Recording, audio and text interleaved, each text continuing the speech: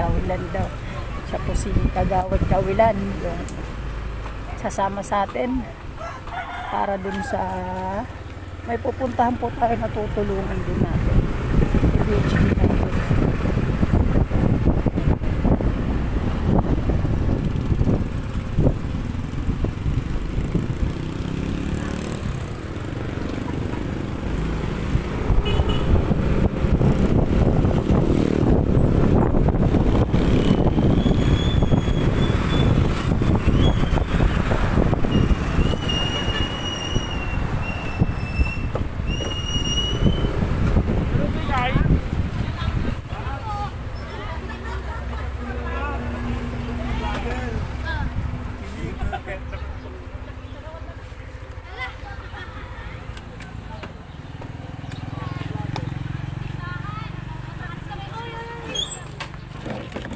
natin. Ano na yung kwan mo, Dek? Son TV Mixed Vlog po. Hi guys, so nandito na naman po tayo para tulungan na po ulit natin yung isang kasama natin mga kababayan dito sa Divisoria, Santiago City.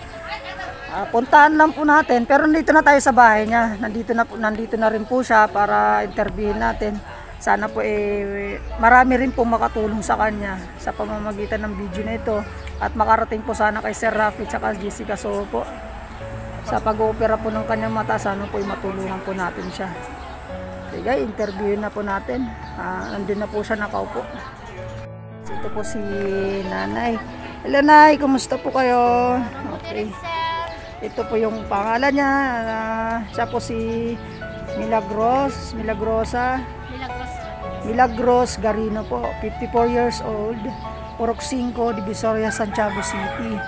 Yung kanyang mata po ay lumuluwa na ano po ba nangyari dyan, Nay?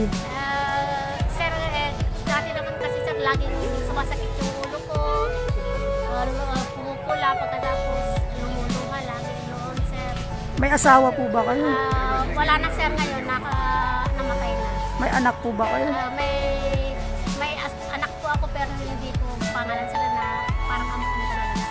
Ayun na lang po. Iniwan sa akin yung kasama ko. Oh, ilang taon na po ganyan yung ano, yung Magpoporya ko na sir. apat na taon ng ganyan. Bakit hindi nyo po napaoperahan? Hindi nyo po napa... Wala namang financial sir, wala akong pera. Kaya pina-check up ko na rin noon, kaya lang hindi ko tinuloy sir. Sa kakulangan po ng kanyang financial assistant ay hindi na po niya napagamot ang kanyang mata.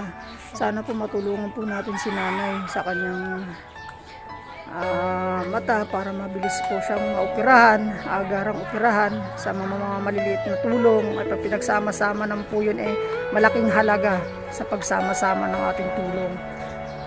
Siya po si nanay na nakatira po dito sa Rosaa, Divisoria, sa Tiago City. Ano po yung hanap buhay niyo dati na Eh, sir, uh, vendors po ako sir dati ng merienda. Nag-iikot po ako dito na nakabike. Okay. Yan po yung. Dati Dating ginagamit niya. Yan, yung dati niya pag magtitinda siya ng mga merienda, yan po yung dating gamit niya. So hindi na siya makapagtinda dahil nga sa sumasakit ang kanyang tinda ko ng mga ukay-ukay pero hindi sa akin po sir yan. Yun na parang panlang. nakikiamo lang po kayo. Okay. Pag maraming benta ganon, mayroon din ako. Pang araw-araw namin yung anak ko. Sir Rafi, dito po ako. Ah, Ako po si Milagros Garino. Bak- Taga dito po sa Divisorias. Purok 5 po. Ano, humihingi po ako ng tulong. Kahit konti lang po na pangpagamot ko. Kahit pang gamot lang po sa aking mata. Kasi kung minsan po lagi sumasakit. Lumuluha po. Sumasakit din po ang aking ulo lagi. Kaya lang kung minsan, iniinom na lang po ako ng gamot na pang pan lang po minsan kumikir kasi yung ulo ko sir. Kaya po si nanay, nananawagan po tayo sa lahat po ng mga gustong tumulong kay nanay. Huwag po kayong mag-alinlangan na tumulong. Sa maliit na halaga lang po yan. Kayang-kaya po natin yan pag pinagsama-sama. Pinagsama-sama natin yung mga tulong natin. Baka sakali maka-opera po kay nanay yung mata niya. Sitwasyon po niyan. Saan po bahay niyo dito? Sir, yan po yan po sa babae ko sir. Nag-iisa lang po kayo dyan. Bali, yung anak ko po sir na kuan na ampon ko po sir. Ah, Anak ng kasama ko nun dati po kasi akong may kasamang gaya ko po sir. ah. eh, namatay naman na siya. Kaya ako nang nag-ano. Ilang taon na po yung mata niyong ganyan? Magpo 4 years na sir. Apat na taon. Pero nung una na, hindi pa po siya ganong malaki. sir, Lagi lang sumasakit yung pagkatapos pumupula yung mata. Yun yung nagsimula. Opo sir. Hindi Sabi, niyo, yung pina-check up niyo, anong sabi sabi? naman ng doktor ron sir, eh, sabi niya, may tumor ka sa ulo, sabi naman niya noon. Kaya kailangan ng CT scan para ma ano yung gamot, kung anong gamot ang pwedeng kung pwede pang matunaw, ano yung sa- sabi sa akin sir ng doktor. Kaya lang hindi ko naman natinuloy kasi wala akong pera. Sa kahirapan, talaga. Kahirapan sir. Mahirap ang buhay. So, lahat na lang ng tao pag may sakit, pag walang pera, napapabayaan. Hingihingi man tayo ng tulong, hindi man tayo mabigyan ng tulong. Pero ito lang po yung paraan ko, hindi man po ko, wala man po ko maibigay kay nanay. Ito lang po ang tanging paraan ko para po ma-share sa inyo lahat yung video na to. Sana po matulungan natin si nanay. Kahit sa malit na halaga lang, pag pinagsama-sama po natin yun, malay nyo po, pag pinagsama-sama natin yung tulong na yun, maoperahan si nanay. Tatanawin po nanay yun ng utang na loob sa ating lahat na itutulong natin sa kanya.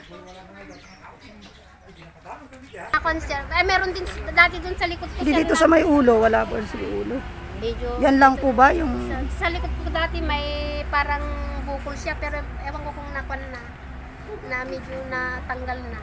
Dati po sir yung mga ganito pa.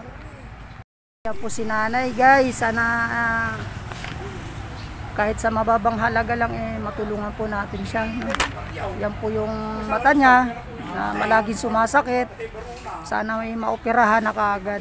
Sa magkano na eh, sa tingin yung halagang kakailanganin niyo para maoperahan niyo? Hindi ko naman alam sir. Eh.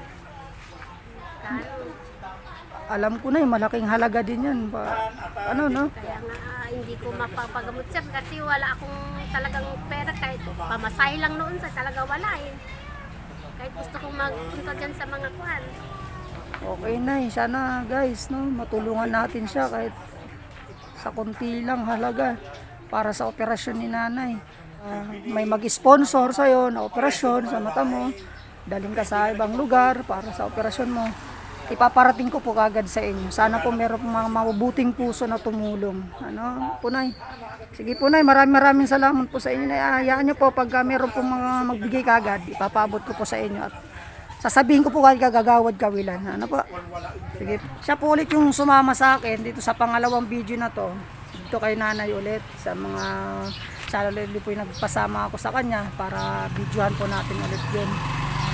Gawin, maraming maraming salamat po ulit. Sana meron pa po tayong uh, mabidyohan, matulungan. Baka sakali pong maoperahan po sila lahat ang ating nakunan ng video. Sige po, agawad. Salamat po. Okay.